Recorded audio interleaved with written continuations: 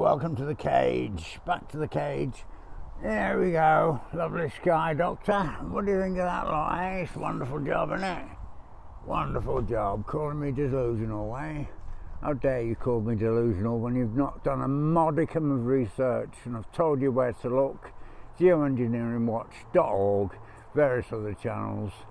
Yeah, to get the truth about what's going on in the sky. Thank you. Thank you, Doctor. Thank you very much for misdiagnosing me as delusional.